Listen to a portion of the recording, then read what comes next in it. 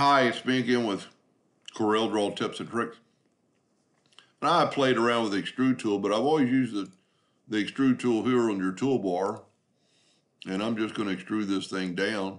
I'll tell you what, I don't like that. Let's go up like this, like it would really be extruded. And there, I'm sure some of this stuff is up in the title bar, but if you open up under effects and extrude, there's a lot more things you can do. Like right here, we can extrude color, solid color, and then shade. And we're going from black to white right now, but if we go from yellow to red, you get a totally different look.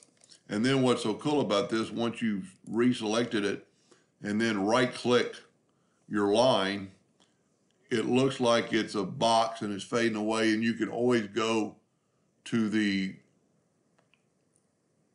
extrude rotation.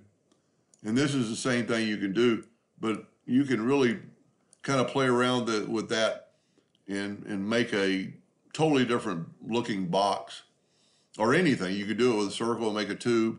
So play around with both, uh, both the two, uh, both the extrudes, and um, it's kind of fun to play with. Just you know, you can get really different looking effects, and you could use any color you want.